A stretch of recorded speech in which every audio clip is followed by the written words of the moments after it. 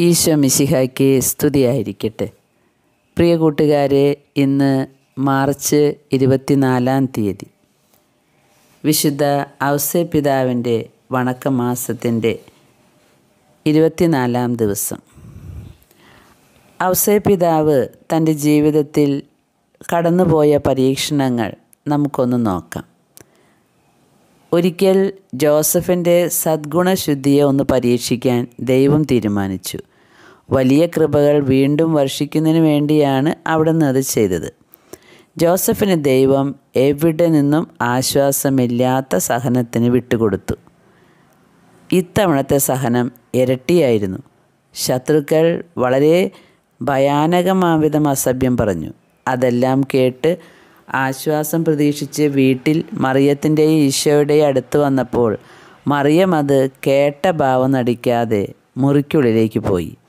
ഈശോയാകട്ടെ. വളരെ വ്യത്യസ്തമായ ഗൗരവമുള്ള മുഖഭാവത്തിൽ കാണപ്പെടുകയും ചെയ്തു. പറഞ്ഞറിയിക്കാൻ കഴിയാത്ത ദുഃഖം ജോസഫിന്റെ ആത്മാവിൽ തുളച്ചു കയറി. കഠിന ദുഃഖത്തോടും ഉത്കണ്ഠയോടും കൂടെ അവൻ തല കുമ്പിട്ട് തന്റെ ജോലിയിലേക്ക് തിരിച്ചുപോയി. വളരെ അസ്വസ്ഥനായി കരയാനും വിലപിക്കാനും തുടങ്ങി.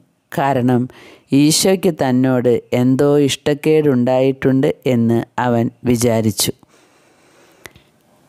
പ്രിയ കൂട്ടുകാരെ ഇന്ന് നമ്മൾ ഇത് ചിന്തിച്ചാൽ നമ്മുടെ ജീവിതത്തിലും ഇതുപോലെയുള്ള അനേകം പരീക്ഷണങ്ങൾ നമ്മൾ കടന്നു പോകാറുണ്ട്.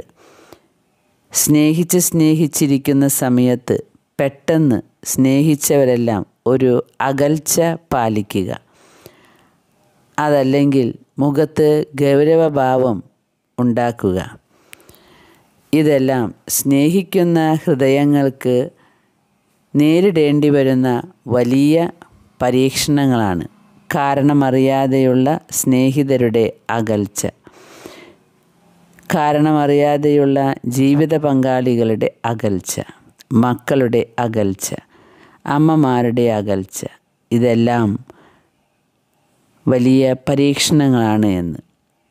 ഈ പരീക്ഷണങ്ങളിലൂടെ കടന്നു പോകാൻ വേണ്ട വലിയ കൃപയ്ക്കായി പ്രാർത്ഥിക്കാം. വിശുദ്ധ പിതാവ് ചിന്തിച്ചതുപോലെ എന്റെ ഭാഗത്തു നിന്ന് എന്തെങ്കിലും തെറ്റ് വന്നിട്ടുണ്ടെങ്കിൽ നമുക്ക് മാപ്പ് പറയാം.